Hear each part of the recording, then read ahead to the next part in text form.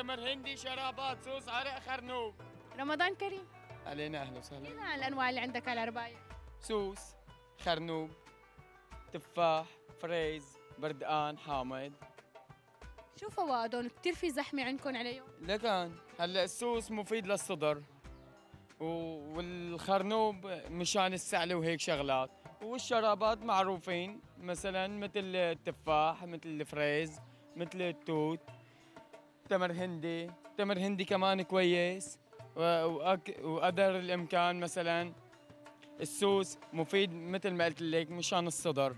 وليش دائما لازم يكون موجود على السفرات خاصة باللاذقية أو بكل المحافظات إجباري لأن هذا شهر رمضان شهر رمضان معروف إنه هالمشروبات مشان شهر رمضان. وين بتساويهم؟ بالمحل. خلينا نروح نشوف سوا. تفضلي.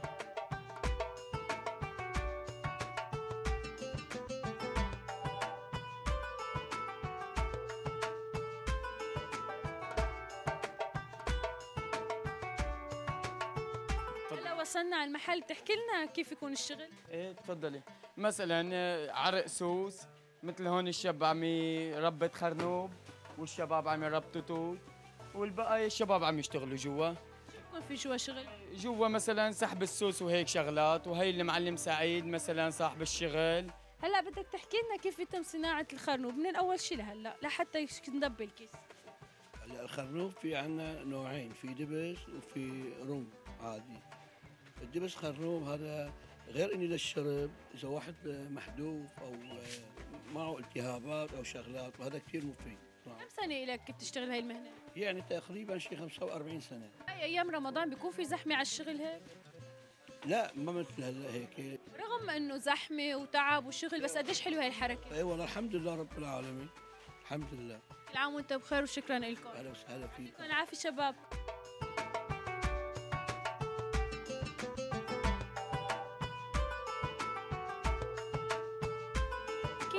شوي عن ذكريات رمضان. والله كان في سهرات حلوة مع الجيران مع الناس مع البشر.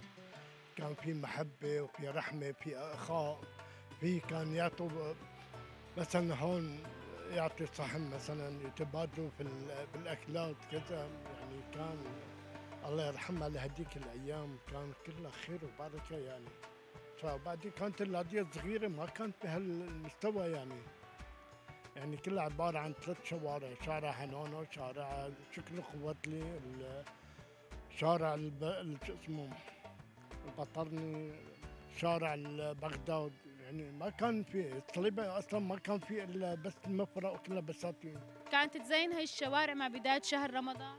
إيه كانت البلدية تزين. حطوا زينه معظم البلدية وفي بعض الشباب كانوا يزينوا. في خير أكيد يعني. كان في بهديك الشوارع مسحرات إيه كان في واحد كان يدق بالطبل يسحر قوم يا نايم قوم على شهر الصيام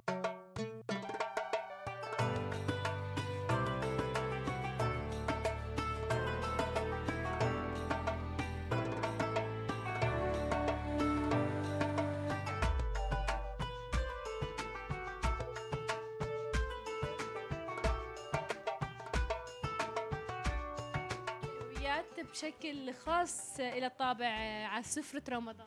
أكيد كل سنة هيك بيقولوا وهو برمضان أطيب شيء الحلو لو وسهلا فيكم. هلا عم تساوي حلاوة بجبن؟ نحن بنبلش الصبح بنعمل حلاوة بجبن وفي عنا وربات وزنود الست. تشكيلة حلويات رمضان اللي هي أشاطي يعني مجموعة الأشاطي. كيف الطلب عليهم باللاذقية؟ والله مقبول يعني وكثير بيحبوا أكلات خفيفة وكثير سعرها مقبول يعني شعبيه بتحسيها طلب هاي الأكلة. تعلمنا كيف بدنا نساويها. أكلة خفيفة كتير هذه وتكاليفها قليلة يعني بتتكلم من سميد وسكر وجبنة وبعدين بنحط لها القشطة وبنقدمها للزبون قديش لك بتشتغل بهيدي المهنة؟ هلأ لنا تقريبا 10 سنين. 10 سنين باللاذقية حوزك الناس. إيه، حفظونا وهيك حبينا يعني معاملتنا وصرنا سوا يعني يعني. كيف عجقة رمضان؟ قديش حلوة هيدي العجقة؟ لو إنه في تعب وضغط شغل. هلا حلوة عجة رمضان إنه كل سنة بس هلا شوي يعني بتختلف عن كل سنة عن سنة إنه الإقبال ال- التكاليف بس مقبولة الحمد لله رب العالمين. كيف الأجواء هون برمضان بهيدا الشارع؟ هلا آه، نحن بشارع أنطاكيا أول عشرة أيام بيفتحوا لوقت الفطور بيجيك ثاني 10 أيام ببلشوا بعد ال- الفطور بيفتحوا العشرة الأخير كمان بيضلوا سهرانين للتنتين ثلاثة بالليل. يعني في إقبال. في سهرات على السحور على الفطور وعلى السحور ولما هلا بآخر 10 أيام بصير إيه أكيد يعني أكيد بضل الشارع تليان بالليل يعني بعد الإفطار لا يعني للسحور تقريبا لا شو عم. إنه رغم التعب والشغل في دراما رمضان أكيد بدنا نتابعها شو عم تتابع هاي السنة هلا عم تابع شوي ما كتير مشان تكون هي العربشة شوي يعني بس ما بلحق لأنه بت- بترجع مثل ما عم بقول لك إنه بالسنة تنتين بالليل بتأخر بالشغل تنجح الدراما بنقل الواقع هلا هي هن لهم اسلوبهم نحن بدنا نتقبله. بس هذا اللي فيني أقول لك إياه. يعني إنه حلوة لأنه بدنا شيء هيك يفرحنا بدنا شيء بس. مسلسلات أيام زمان أجمل من هلا ولا لا؟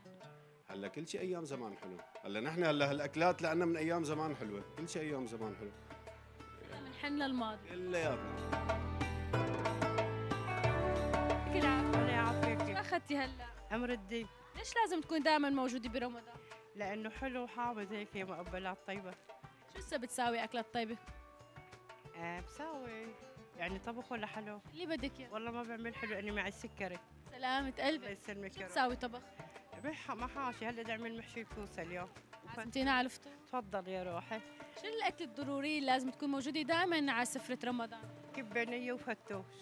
ما فيني بلاها. كل يوم. كل يوم. ما فيني بلاها. كيف تقضي وقتك برمضان؟ آه اللهم صل على النبي فيق من على بكرة بقرأ قرآن اللي بي الله بيعيني عليه جزء. آه والظهر بشوف شغل البيت والعصريات بطبخ. والم- حلوة اللبكة الشغل رغم إنه ما بنلحق على الشيء بس بتشوفي حالك دائما إنه كثير حلو. قعدت الفطور على بكرة المساء الانتظار كثير حلو. أي والله. يلا عبالي كل سنة تضلوا بخير يا روحي. شكرا يعطيك ألف. الله يعافي قلبك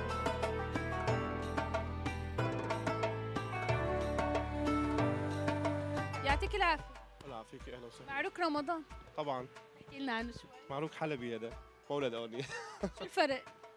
هلا في تشكيلة واسعة يعني حلو. هلا هون بحبوا المالح أكثر مثلا في عندك جبنة عندك جوز زبيب عندك شوكولا عندك تمر صادة في هي سمسمية بالدبس العنب وقطر ومرتبه يعني.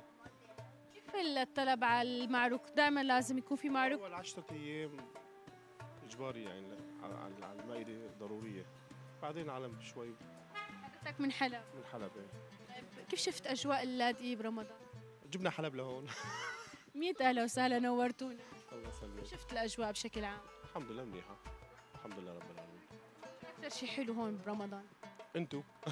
هيك خجلتنا كثير بعد نعرف نعمل اللقاء. الله يسلمك. مية أهلا وسهلا وكل عام وأنتم.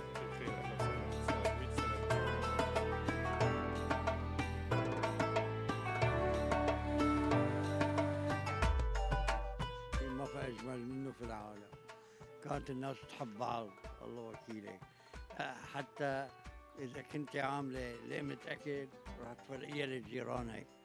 وجيرانك شو عاملين؟ يعطوك كيف كنتوا تقضوا الوقت؟ الوقت أه، عادي شغل و... وصلاة و... كان في لمات؟ إيه لا كان في سهرات سهرات رمضانية. نحبها والله نشتاق لها والله. في زينة بالشوارع اللي كنت أنت؟ إيه، كان في زينة أكثر من هلأ بكتير. والله نازلة اتسوق وجيب شوية أغراض شهر رمضان. شو أخذتي؟ أو شو رح تاخذ؟ رح آخذ معروكة هي أهم شيء. هي العادات والتقاليد برمضان. آه رح ناخذ تمر هندي هدول أهم شيء. وبتعرفي طبخة اليوم. شو طبخة اليوم؟ والله بدي أعمل شرحات مطفايه صحتين وهنا. كيف عم تشوفي أجواء رمضان باللاذقية هي السنة؟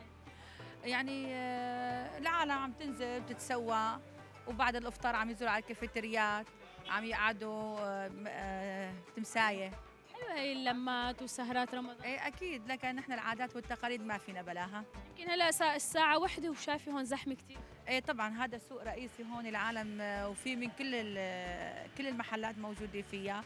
فهون طلباتك بتلاقيها دوما موجودة. طيب شو اللي بيميز اللاذقية رمضان باللاذقية؟ ميزنا بال مثل ما شايفة آه، العرق سوس التمر هندي المعروك ال- العصائر على الايد آه، البرتقان. خلينا ننتقل الع- العادات والتزيين كمان بالحارات. الشعبيه بالحارات الشعبية. خلينا ننتقل هلأ من الأكل والزينة للدراما عم تتابعي مسلسلات إيه عم تابع. بعد التراويح بنتابع مسلسل عربجي ونقطة انتهى و... وأغمض عينيك.